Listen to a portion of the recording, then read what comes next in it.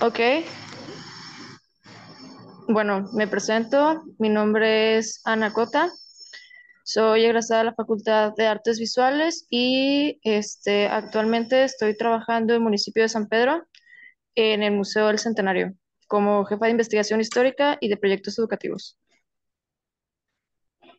No sé si, bueno, no sé por dónde empezar, si quieres que hable de mi producción o de mi trabajo o mi temita. Pues si quieres donde trabajas ahorita. Ok, aquí en el museo actualmente eh, me encargo de generar un catálogo digital de los inmuebles históricos de aquí del municipio, de lo que es el patrimonio histórico y cultural, ¿no? Eh, me encargo de toda esa parte de la investigación, de hacer las fichas, de contactar a los, a los vecinos que tienen fotografías antiguas o alguna anécdota que nos pueda servir. Pero esa es la mitad de mi trabajo. La otra mitad es encargarme de lo que son los proyectos educativos. O sea, eh, estoy ahorita ¿cómo lo diré? Elabor- estoy elaborando un programa en el que se hagan talleres, este, algunos, ¿cómo los diré? Laboratorios, que son como talleres pero más pequeños y más intensivos. Eh, todo esto para que el público, que en este caso, pues casi siempre son los vecinos de San Pedro, tengan acceso a conocimientos sobre historia, el cuidado del patrimonio, la importancia de preservar nuestro patrimonio histórico y cultural y sobre todo que desarrollen habilidades, ¿no? Pero bueno, eh, yo conseguí este trabajo porque hice aquí mis prácticas y después me invitaron a quedarme, pero realmente este trabajo me ha ayudado mucho con mi producción artística porque, bueno, en mi producción se basa mucho lo que es el trabajo con la memoria, ¿no? Y lo que son los entornos arquitectónicos. Entonces, eh, trabajar en un museo de historia me, la verdad, me conviene mucho, me ayuda y ha alimentado bastante mi producción, ya sea en investigación, en conocimientos y en algunas bases. Eh, no sé qué más hablarles, no sé que tengan dudas. Eh, pues si quieres platícanos un poco sobre cómo fue tu proceso desde la facultad o cómo conseguiste ese estilo que he visto en tus trabajos. Ok. Eh, bueno, este estilo que tengo ahorita me tomó unos cuatro años desarrollarlo, más o menos. Eh, pero, o sea, para que se terminara de hacer, pero realmente es un proceso que tengo trabajando desde, híjole, los 10 años, porque, ok, mi papá, contexto, mi papá es arquitecto, mi abuelo es historiador, mi mamá es comunicóloga, entonces toda la vida, desde pequeña, yo crecí con, con todas estas herramientas a la mano, ¿no? Con libros de arquitectura, libros de historia, enciclopedias, todo eso. Entonces siempre estuve alimentando mi mirada con estos campos de investigación. Eh, por eso mi, mi técnica tiene mucho dibujo arquitectónico, pero eh, realmente lo que, o sea, a nivel visual tiene muchos elementos arquitectónicos, pero a nivel conceptual realmente casi siempre trabajo desde eh, la memoria. Y la mayoría de mis piezas son autorretratos. Aunque no sea yo la que salga directamente, casi todas mis piezas son autorretratos, solo que los combino con otros elementos. Me tomó mucho tiempo llegar a eso. Tuve que, ¿cómo lo diré? Utilizar muchas capas. O sea, por ejemplo, eh, si tú entras a mi Instagram ahorita y ves cualquiera de mis dibujos, vas a poder encontrar que parece que son muchas imágenes al mismo tiempo, lo cual es verdad. Para crear una sola de mis composiciones ahorita, yo necesito eh, tomar fotografías, contraponerlas y generar una sola composición.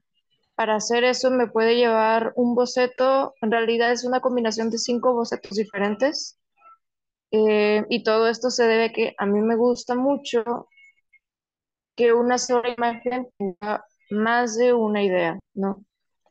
Y me gusta que visualmente eso se pueda percibir. Eh, es por esa razón. Pero cómo llegué a eso, bueno, no estoy segura. Eh, hubo un tiempo en el que me puse a experimentar con mapas, por ejemplo. Eh, empecé a investigar lo que es la cartografía hay una artista que me gusta mucho, escritora, realmente es escritora, socióloga, ella es brasileña, ahorita vive en Francia, me parece, y cuando leí uno de sus, uno de sus libros había un capítulo llamado Cartografías del Saber, que a partir de ahí dije, no, aquí, de aquí soy.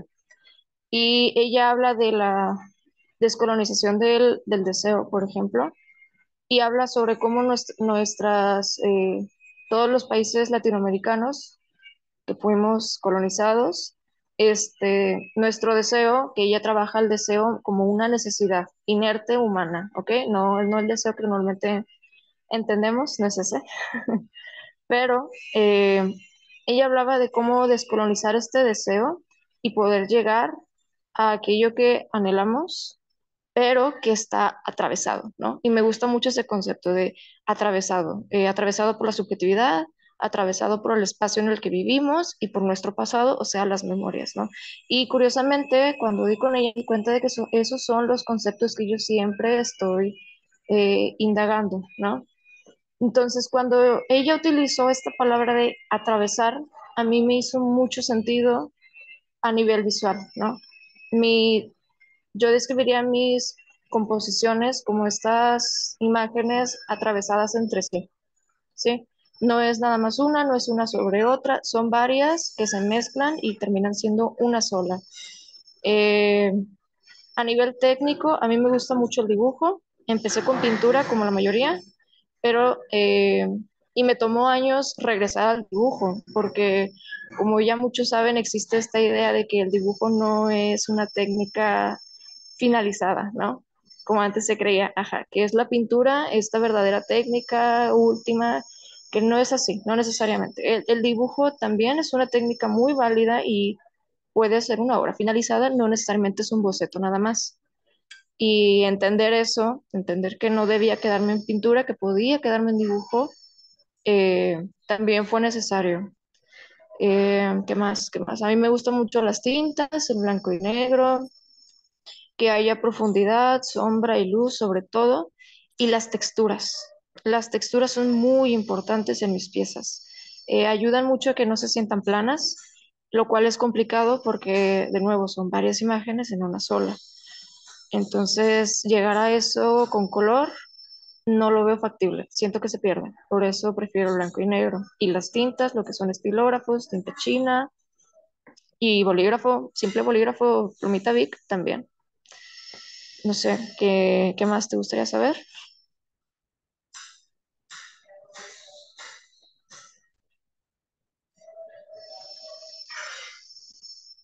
Déjame pongo algunos trabajos tuyos en el Instagram. Ok, va. Ay.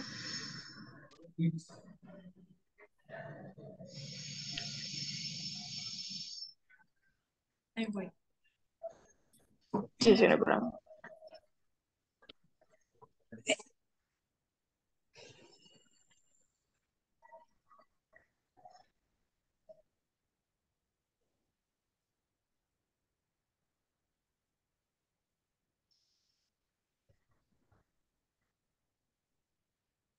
Creo que no, no es este.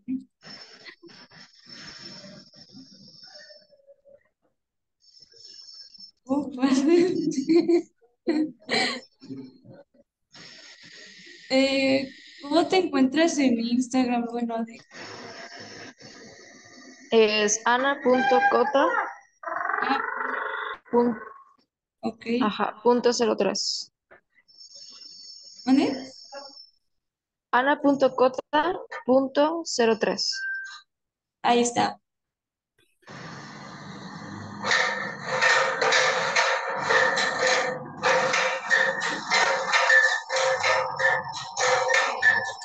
Déjame ocupar tu pantalla para que tú nos puedas platicar un poco. Sí, claro. Ahí se ve. Um, yo no. Ay, perdón. Ahí está. A ver, me está cargando. Ahí voy. Ya, ahora sí. Ahí por si nos quieres platicar un poquito sobre el proceso que llevas a atender de aquí. Ok, mira, si quieres vete para abajo para mostrarte una de las primeras. Y dale un poquito más. No.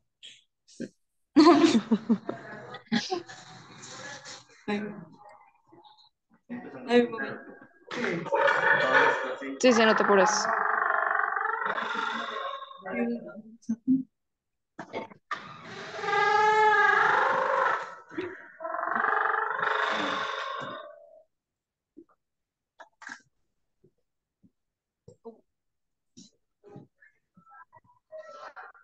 Ahí sí, de repente escuchan mucho ruido, una disculpa, es que están haciendo obras aquí en el museo.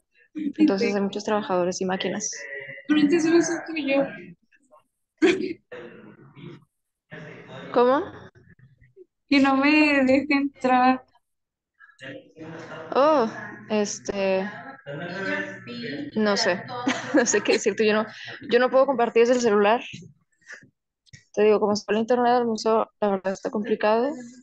Este, y así vista previa, o sea, si quieres vete, ponle salir. Creo que sí puedes como denegar eso. Hay una compañera va a poner su Ay, hola. Ah, gracias, que amable. Hola.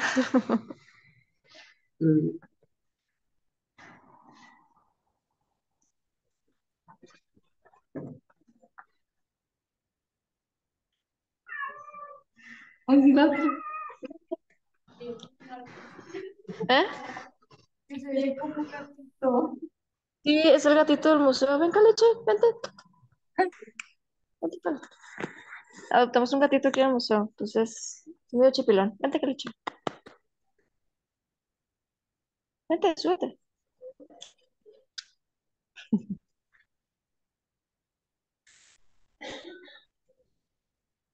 A ver si me había buscado. Sí.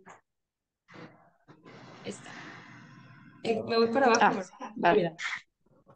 Mm, ah, mira, arriba, arriba, güey. poquito más arriba.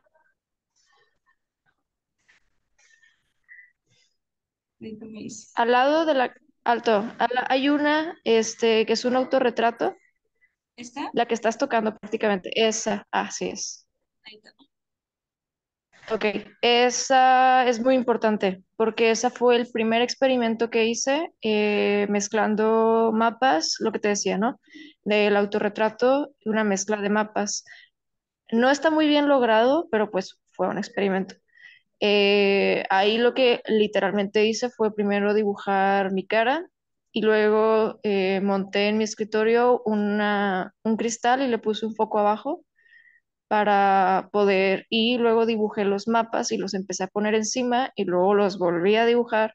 O sea, cada mapa que está ahí, cada trocito de mapa lo dibujé como unas cuatro veces para poder dar con la, con la composición que yo quería. Pero porque este fue un experimento muy, ¿cómo lo diré? A la antigua, no utilicé programas de edición ni nada por el estilo. Eh, a mí me gusta mucho el papel, entonces necesito que mis piezas tengan una materialidad específica para sentirme cómoda.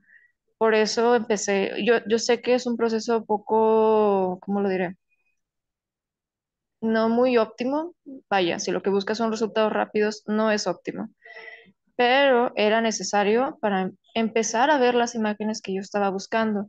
¿Y qué buscaba aquí? Eh, empezar a, a tener esta mezcla, esta convergencia entre lo que es el, el- el ser humano, el individuo, con su entorno. Estos son trozos de mapas de, de aquí de la zona urbana de Monterrey, ciertas zonas específicas que yo escogí, porque cada una es de un lugar en específico en el que viví algo importante, ¿no? Entonces, aquí estaba trabajando lo que es la identidad, en este caso la mía, el, el entorno, lo que son los mapas, algunos dibujos de, de texturas, de lo que son los cerros, de lo que son, por ahí no me acuerdo bien, ah, sí puse de cerros también, solamente que esos no quería que fueran obvios. Y, y sobre todo el, el tema de, los mapas, ¿no? De dónde me ubico, dónde he estado y qué viví. Eh, pero bueno, ese quería mostrarlo porque fue el, el primerito que hice de esos y por eso es muy importante para mí. Es como lo que detonó el, el resto de las piezas que he estado haciendo ahora. Ahora, si, si quieres poner tú una en específico que te llame la atención, dime y te la explico un poco o te digo cómo fue que la hice, pero esa era como la primera, por eso era importante.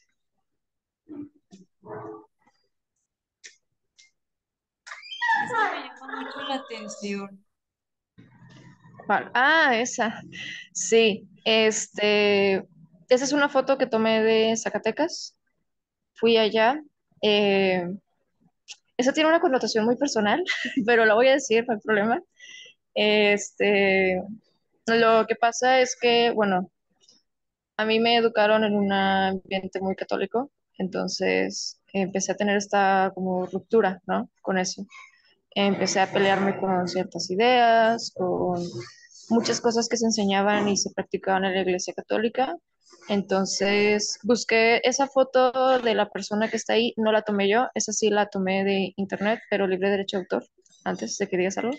Este, busqué una persona que estuviera dando un salto, ¿ok? Como saltar fuera y literalmente puse una iglesia atrás. Entonces, ese también fue un, un ejercicio, no la, no la estaba buscando como una pieza final, era parte de un proceso que estaba haciendo, de otras piezas que ya después hice, este, pero aquí sí me quise atrever a poner color porque aunque es una imagen que habla sobre la, la huida o el escape, realmente también es un proceso alegre, ¿no? Entonces consideraba que meterle mucho color y muy saturado era muy importante para dar a entender ese, ese sentimiento que estaba buscando.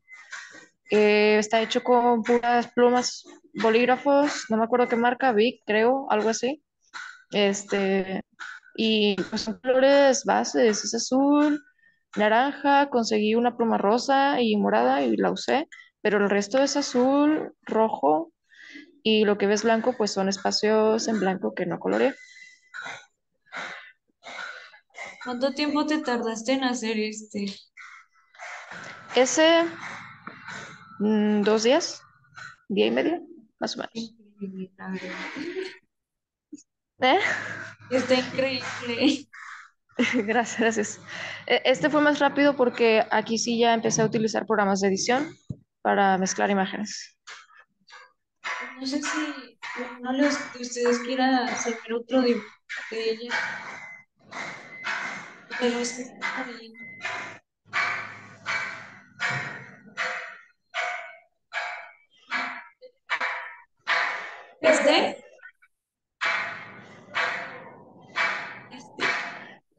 Ok, uy, esta pieza, ay, ya la hice hace rato.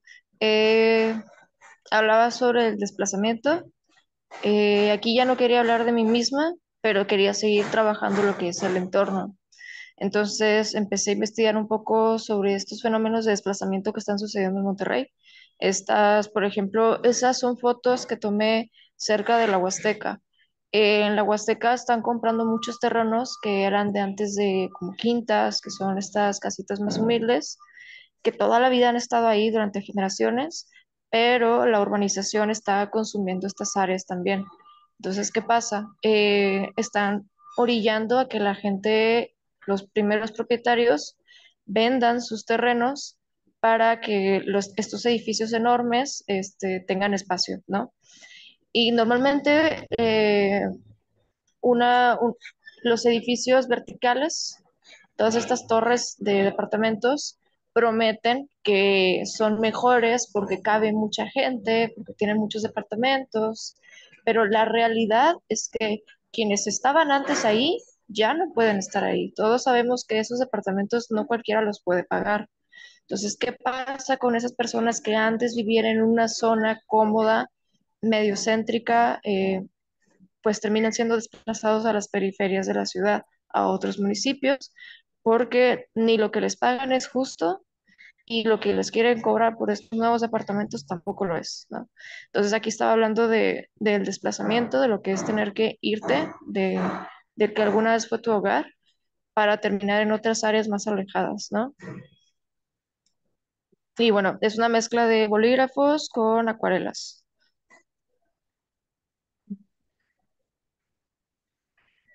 Pues no sé si les interese algún otro, quieran empezar con las preguntas.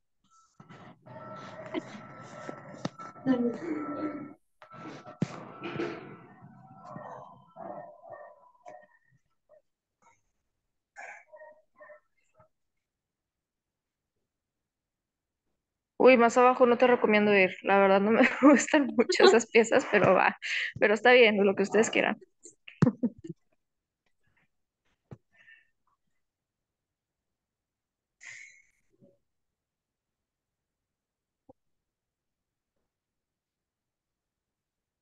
Yo me acuerdo que yo te conocí por este Por ese. Ah, por Ezra. Uy, ese es bien concurso, no viejo. me acuerdo. Lo metí a concurso. Creo que sí, tienes razón. Este. Ese fue un ejercicio que nos pusieron en clase. Eh, no me acuerdo cómo se llama la materia, creo que era dibujo experimental o algo así. El maestro era nuevo, entonces eh, también la materia no me acuerdo muy bien.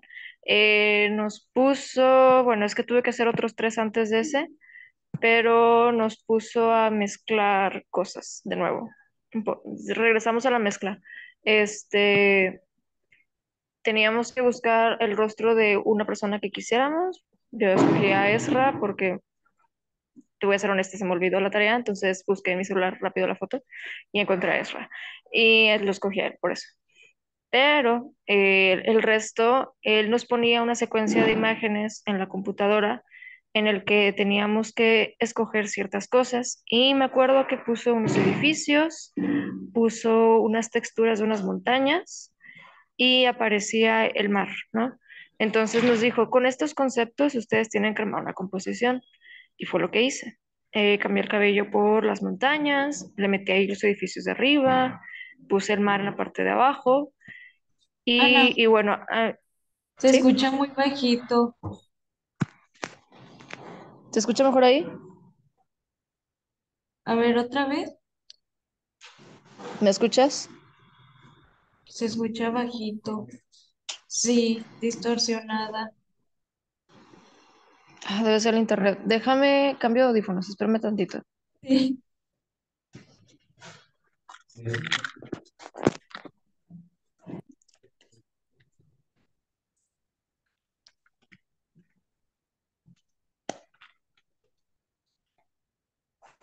¿Se oye mejor?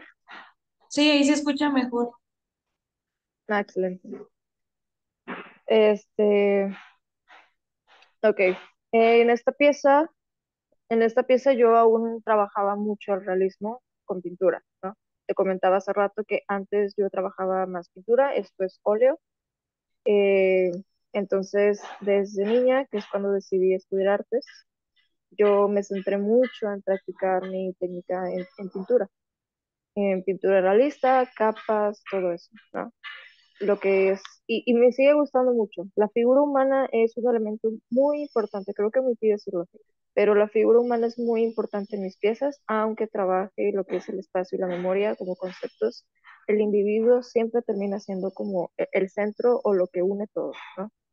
Entonces, aquí yo todavía estaba trabajando mucho la pintura, pero llegué a un punto en el que ya no quise avanzar más. No sé cómo decirlo, pero llegó, ya no sentía la necesidad de seguir trabajando con esa técnica. Entonces, esta fue de las últimas que hice en pintura.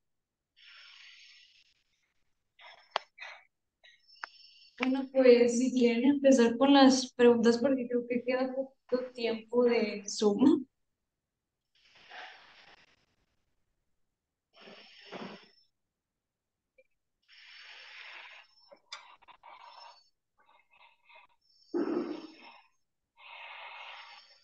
¿Qué, cuál ha sido tu reto de proceso creativo o tu mayor desafío como artista? Mm, de proceso creativo es ganarle a la flojera. Yo salgo muy cansada aquí del museo y ya no me quedan ganas de hacer nada más. Pero ahorita mi reto actual es hacerme el tiempo para seguir produciendo y no quitar el dedo del renglón. Es muy fácil perderte en el mundo laboral, que pienses que ya con eso es suficiente. Este, entonces, el mayor reto ahorita es es ese, ¿no? No quitar el dedo del renglón y seguir buscando estar activa. Pero a nivel artístico, el mayor reto, es otro, son los espacios. Este, he tenido algunas oportunidades para exponer últimamente en estos meses, pero he tenido que rechazarlas porque hay que tener cierto criterio. Eh, es difícil estar trabajando en crecer como artista, buscando estos lugares para darte a conocer y al mismo tiempo identificar cuál sí te sirve y cuál no. Un ejemplo, este, no sé si ubican la plástica, ¿no? Ok. Tenía una invitación para participar con ellas, este, pero la verdad es que no me conviene. O sea, la plástica te sirve mucho a nivel económico, porque sí puedes crecer a nivel económico ahí, vender piezas, lo que tú quieras, pero si tú te quieres dar a conocer como un artista serio, por así decirlo, mm, es probable que si te metes con, con eso no te tomen en serio. Entonces, tienes que saber identificar qué artista quieres ser, o sea, qué tipo de artista. Yo prefiero tardarme más en darme a conocer, pero escoger bien los espacios en los que me quiero mover. Que si hay gente a la que les gusta más los espacios públicos, en el sentido de lo que es el arte urbano, por ejemplo, eso también lo intenté, pero no es lo mío. Este, entonces, yo sé que por ahí no. Los espacios privados son, son difíciles, pero se adaptan un poco mejor. Y luego están los espacios públicos, que son los museos, eh, las casas de las culturas, todo eso. Esos suelen ser más amables.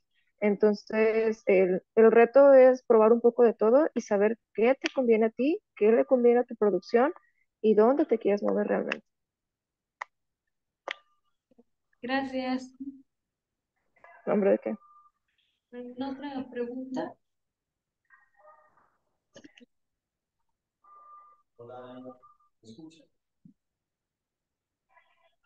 Casi. Hola. Ah, hola, maestro. No lo había visto. Uy, casi no lo oigo, perdón. Gracias por estar en clase. ¿Me escuchan? No, no escucho. Uy.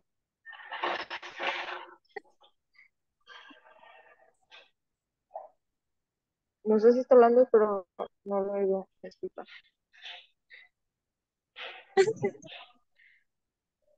Que muchas gracias, Ana, por estar en la clase. Ah. No, hombre, ¿de qué? Gracias a ustedes. Una disculpa.